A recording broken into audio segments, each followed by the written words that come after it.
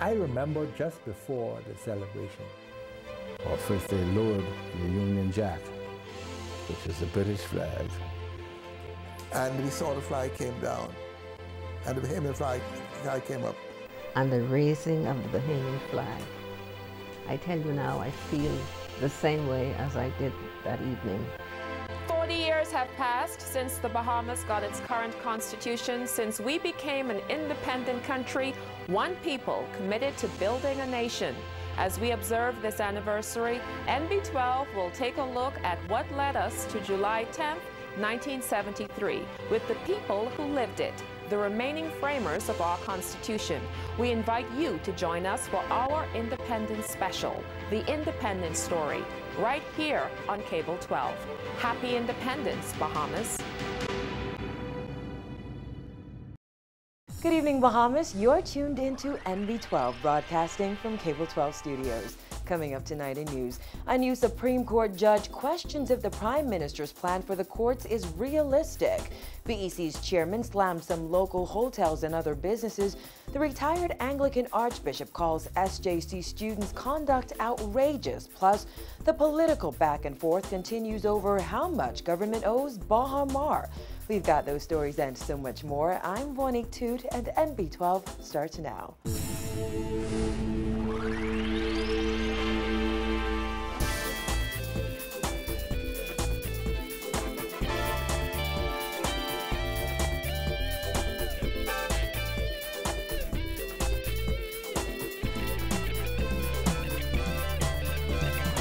Topping news tonight, Executive Chairman of the Bahamas Electricity Corporation, Leslie Miller, is warning major hotels and commercial consumers to either pay up before the summer or expect their power supply to be disconnected.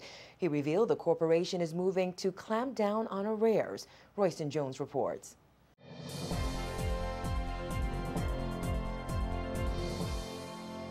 Miller says BEC is owed millions of dollars and the corporation cannot allow hotels and other companies to remain delinquent as it does not get much money going after ordinary Bahamians who he says are struggling to make ends meet.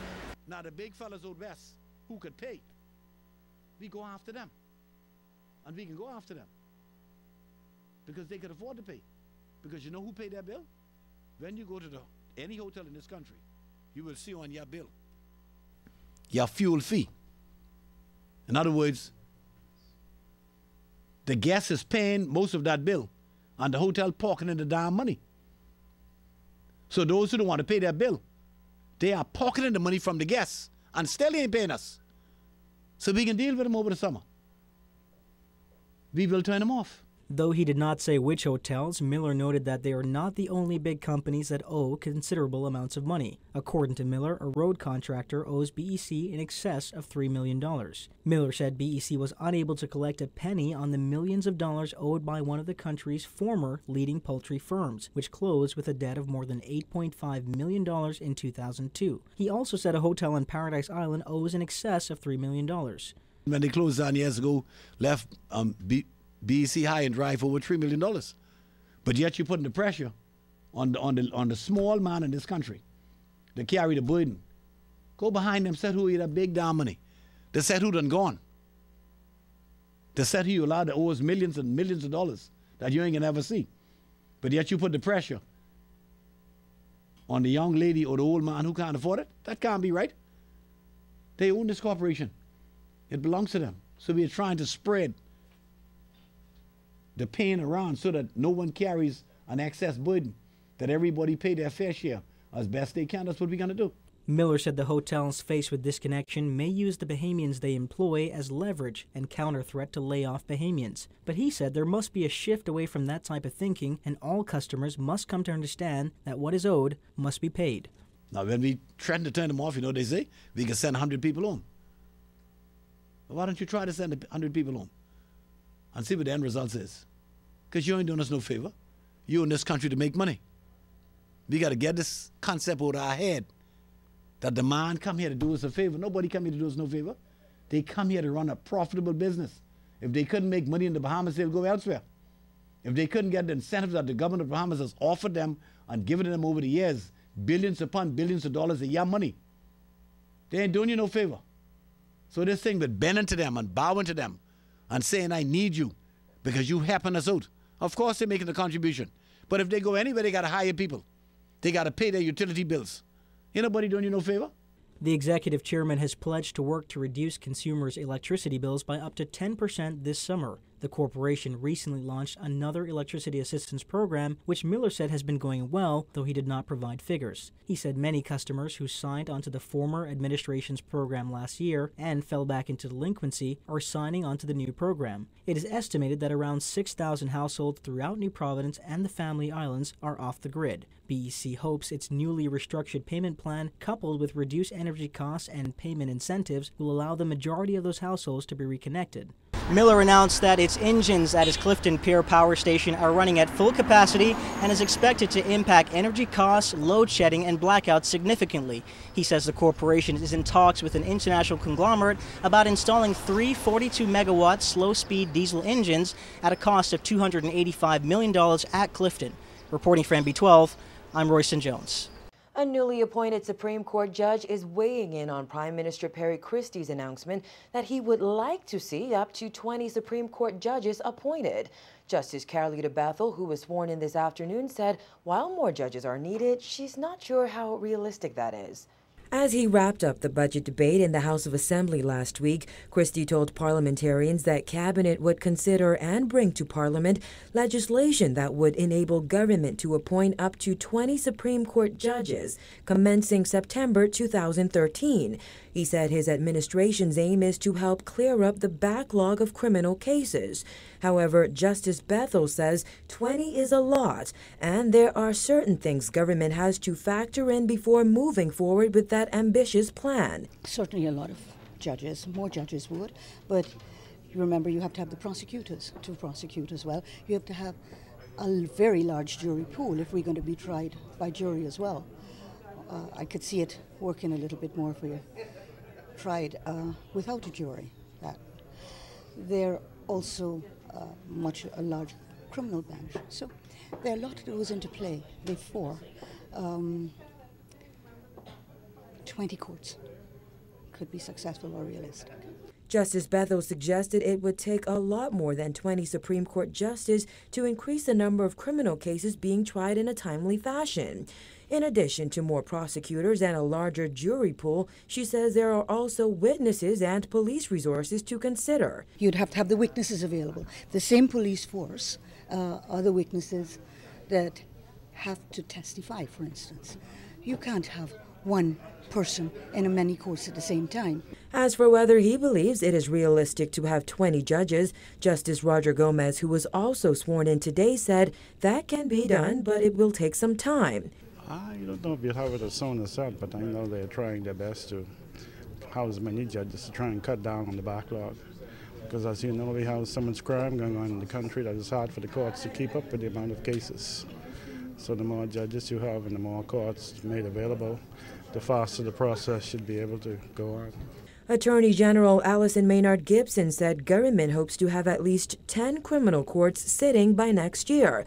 Gomez said he and Bethel were appointed to help cut down the backlog of cases. Yeah, that's one of our main aims to try and speed up the process a bit because we were made quite aware before we appointed that this needs to be done. So that's one of our main priorities, try and speed up the amount of cases being tried. Earlier this month, Minister of State for Legal Affairs Damian Gomez told the House of Assembly that only 89 criminal cases were tried in the past 12 months, Gomez said that figure was simply unacceptable for a system with five criminal courts. Both Gomez and Bethel will try criminal cases, but Gomez said he will handle civil cases primarily. I, Roger Gomez, faithful and bear true allegiance to Her Majesty Queen Elizabeth II, my heirs and successors, according to law. So help me God. I, Carolita Bethel, do swear that I will be faithful and bear true allegiance to Her Majesty Queen Elizabeth II, her heirs and successors, according to law. So help me God. Gomez and Bethel said they consider it a great honor to be appointed as Supreme Court judges. I'm really delighted to be here, and it's really a lifelong dream come true. I promise that I'll do my best to serve my country and my people. I'm very happy to be a Supreme Court judge. Um, it's a new step for me, and I'm hopefully, with the help of God and a lot of hard work, I'll be a good judge. Justices Gomez and Bethel's first day on the Supreme Court bench is Monday. Guillermina Archer will be the new chief magistrate. The Anglican Diocese has remained silent since it made the controversial decision to cancel the St. John's College 2013 graduating classes prom and graduation ceremony earlier this month. But tonight, retired Anglican Archbishop Drexel Gomez is speaking out on the matter. He called students' conduct outrageous and expressed concern that legal action taken by some angry parents may negatively impact the diocese. He says it's the first time action has ever been taken against the ACEA. As a member of the church and as a former diocesan, I am very concerned about really the future of the school and the future of our involvement in education. And it's a pity that such a this conduct, which is really outrageous, has come to the center and caused such a disturbance. And, but uh, the church in every situation has a right to express moral outrage, and in a country where there are so many young people in the country that we have to call the young people to some kind of order and help them to understand that there is behavior that is not appropriate, not in private nor in public. The Anglican Central Education Authority said in a statement that it canceled the school's prom and graduation ceremony because of students' gross insubordination and deceit. School officials were reportedly offended by a YouTube video that showed students dancing through a recent school parade. Parents asserted the cancellation was a breach of contract. While not commenting on the pending court matter, Archbishop Gomez said he had hoped the situation would not reach this point. However, he noted that parents and students have a right to seek redress. Well, I just think that the whole matter is rather unfortunate, but um, when it is necessary for people to seek redress in the court, then uh, places the church in an adverse role where the church wouldn't normally want to be. But people have rights and they are entitled to, if they feel they are not being treated properly, that they have a right to seek re- redress in the courts. But uh, I would have hoped that all of that could have been avoided. In the originating summons filed by attorney Christina Galanos on June 20th, the parents of over 25 students are asking the court to order the school to host both the graduation and prom or refund the students hundreds of dollars in fees associated with both events. Gomez says he doesn't know enough about what happened to say if parents went too far, but the church must stand for standards in order to build what he called a sensible community. Parents and students do have rights, and the church has rights. It's a question of measuring them in terms of how do you exercise discipline and how does the church make a stand and what it considers to be moral outrage and what would be the appropriate way of dealing with the outrage. Now, there, there will be the issues that are at stake.